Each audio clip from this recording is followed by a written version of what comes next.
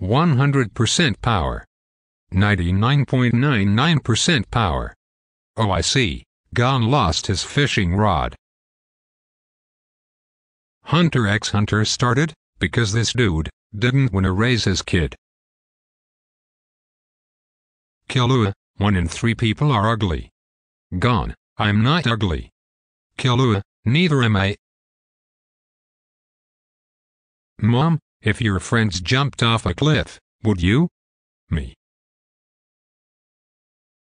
When, you didn't prepare for the presentation, and now you're in front of the class, looking for a PowerPoint that you know doesn't exist.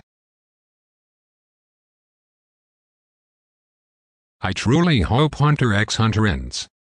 Before my own lifespan ends.